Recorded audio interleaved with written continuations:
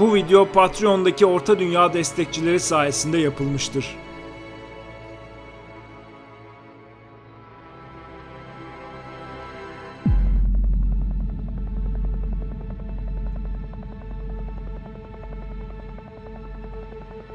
Gollum heykelin kopmuş başına bakan Frodo'nun pelerinini çekiştirdi.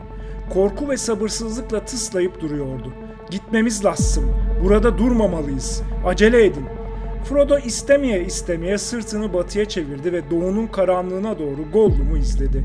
Frodo ile Sam yüreklerinde bir ağırlıkla zorla yürüyorlardı. Frodo'nun yükü yeniden belini bükmeye başlamıştı. İtleyen'de neredeyse unutmuş olduğu ağırlığı bir kez daha artmaya başlamıştı. İleride uzun ve meyilli bir vadinin ucunda yüzük tayflarının şehri göründü. Etrafındaki her şey gökte yerde karanlıktı ama orada ışıklar yanıyordu.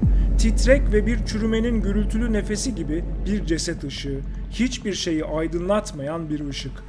Kulenin üst kısmı yavaş yavaş dönüyordu. Önce bir yana, sonra öbür yana. Geceyi gözleyen kocaman hayaletimsi bir baş gibi. Üç yol arkadaşı isteksiz gözlerle yukarı bakarak durdular. Sonra Gollum onları yürümeye zorladı. Böylece yavaş yavaş bir köprüye vardılar. Havada bir çürümüşlük kokusu vardı. Köprünün altından akan su sessizdi ve tütüyordu. Ama sudan yükselen buhar korkunç biçimde soğuktu. Frodo duyularının sersemlediğini ve aklının karardığını fark etti. Sonra aniden sanki kendi iradesi dışında başka bir irade iş başındaymış gibi ileri doğru yalpalaya yalpalaya gitmeye başladı. Hem Sam hem de Gollum onun peşinden koştular. Sam Frodo'yu köprünün başında yakaladı. Sıkı dur Bay Frodo diye mırıldandı. Geri gel, o taraftan değil. Gollum öyle diyor ve ben de ilk kez onunla aynı fikirdeyim. Frodo yoldan koşup gitmek için duyduğu arzuyla savaştı. Sonunda bir gayret geri dönünce yüzüğün boynundaki zinciri asılarak kendisine karşı koyduğunu fark etti. Sam tökezliğe tökezliğe giden Frodo'ya destek olup onu götürürken elinden geldiğince Gollum'u izledi. Önlerindeki karanlık zifiri bir renkteydi. Eliyle çağırmak için döndüğü zamanlar hariç önlerindeki Gollum'u görmüyorlardı bile. Yavaş yavaş zahmetle devam ettiler yollarına. Leş kokusunun ve zehirli derenin buharlarının üzerine çıkınca daha rahat nefes almaya başladılar ve zihinleri de açıldı. Fakat kol ve ayakları sanki bütün bir gece ağır bir yük taşımışlar gibi yorgun düşmüştü. Sonunda mola vermeden daha fazla ilerleyemeyecek duruma geldiler. Frodo durarak bir kayanın üzerine oturdu.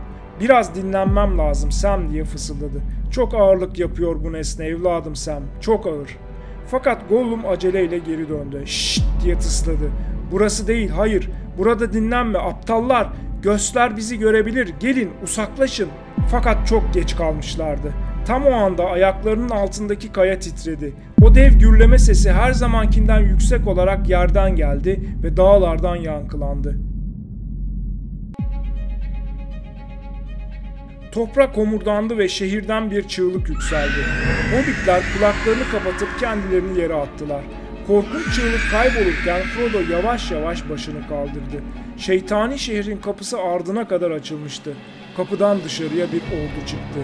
Gece gibi kara giysilere bürünmüş, sıra sıra küçük kara suliyetler hızla ve sessizce yürüyorlar, sonu gelmez bir akışla dışarı çıkıyorlardı. Önlerinde büyük bir süvari alayı gidiyordu. Bunların başında da hepsinden daha büyük bir atlı vardı. Bir süvari, kukalatalı başında tehlikeli bir ışıkla titreşen taca benzeyen miğfer hariç tepeden tırnağa silahlı. Belli ki dokuz süvarinin efendisi dehşetli ordusunu savaşa götürüyordu.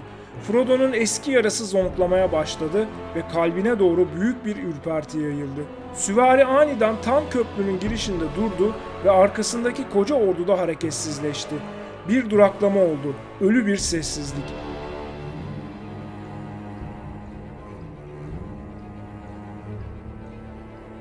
Süvarinin karabaşı bir o yana bir bu yana döndü görünmeyen gözlerle gölgeleri süpürerek.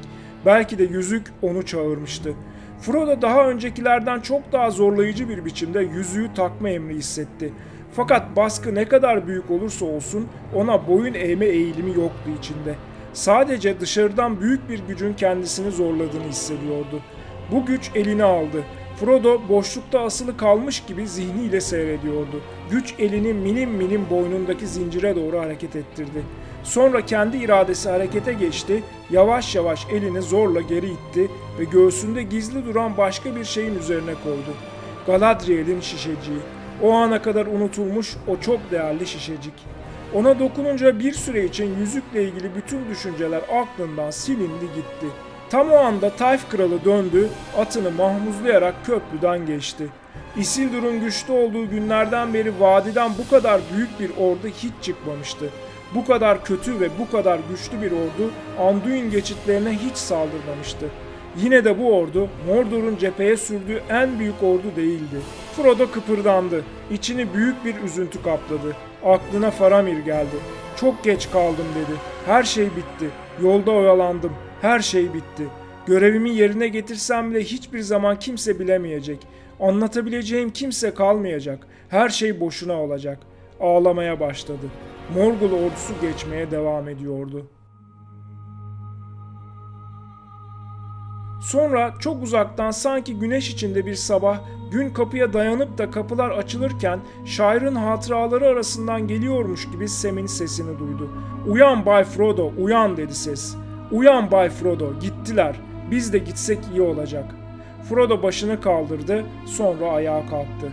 O zayıflık geçmişti. Artık yapması gerektiği şeyi gerçekleştirmesi gerektiğini hissediyordu. Faramir'in, Aragorn'un, Elrond'un, Galadriel'in, Gandalf'ın ya da herhangi birinin onun yaptığını bilip bilmemesinin önemsiz olduğunu düşündü. Şişeciyi göğsüne sokup yüreğinin üzerinde tuttu. Yüzünü Morgul şehrinden çevirerek yukarı doğru tırmanan yola baktı.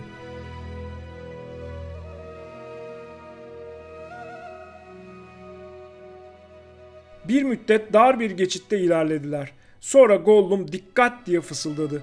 Basamaklar, bir sürü basamak. Dikkat lazım. Gerçekten de dikkat gerekiyordu. Basamaklar bir el merdiveni gibi dikti neredeyse. Üstelik basamaklar hem dar hem düzensiz hem de aldatıcıydı.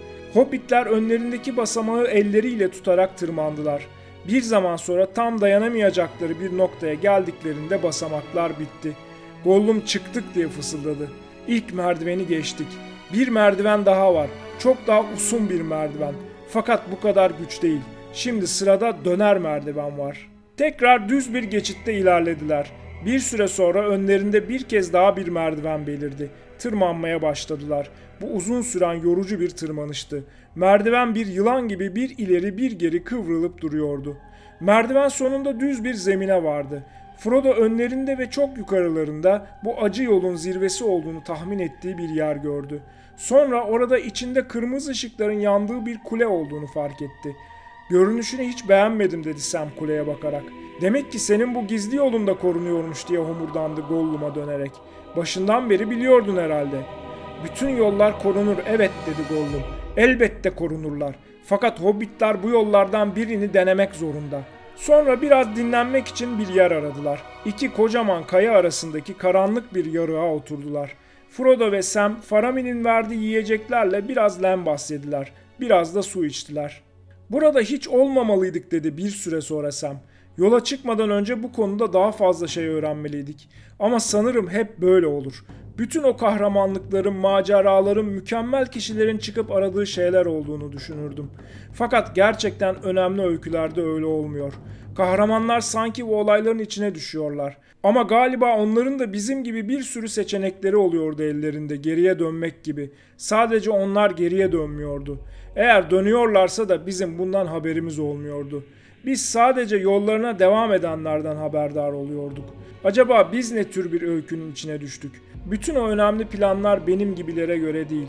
Yine de merak ediyorum. Bizi şarkılara veya öykülere katacaklar mı diye. İnsanlar şöyle diyecek. Hadi bize Frodo ile yüzüğü anlatın. Frodo çok cesurmuş öyle değil mi baba? Frodo uzun uzun içinden gelerek güldü.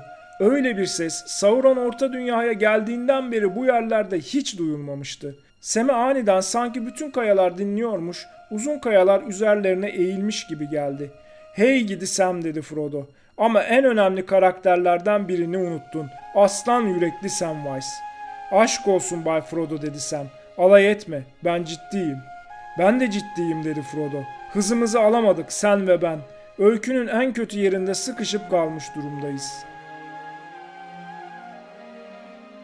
Sonra konuşurken Gollum'un yine ortalıkta olmadığını fark ettiler. Sam onun uzakta görünen kuleye gidip orkları getirmesinden endişe ediyordu ama Frodo'ya göre onları orklara verseydi şu ana kadar birçok kez bunu yapabilirdi.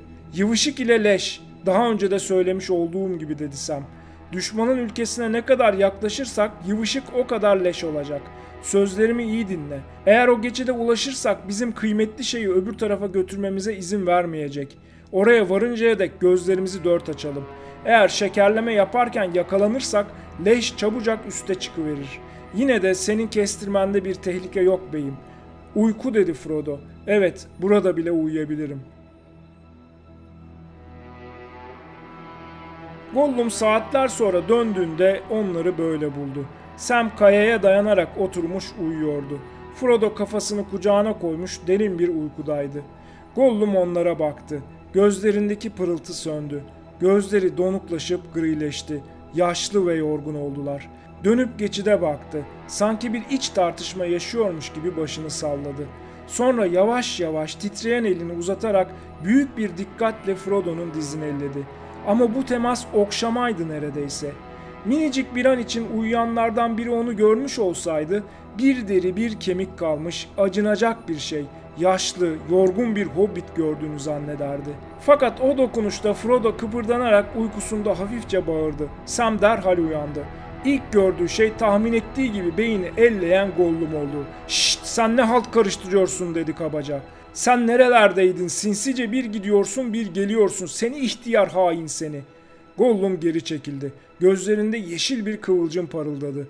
O an hatırlanamayacak şekilde geçip gitmişti.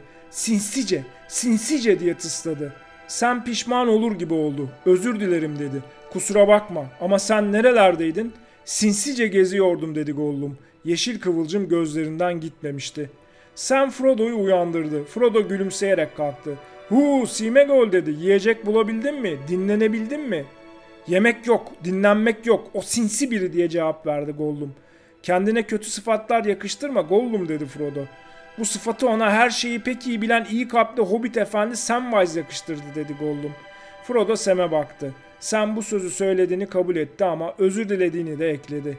Haydi o halde bırakın bunu dedi Frodo. Fakat artık sen ve ben Simegol dönüm noktasına geldik. Sen verdiğin sözü tuttun ve özgürsün. Düşmanın hizmetkarı hariç nereye istersen gidebilirsin. Yo yo daha değil diye sızlandı Gollum.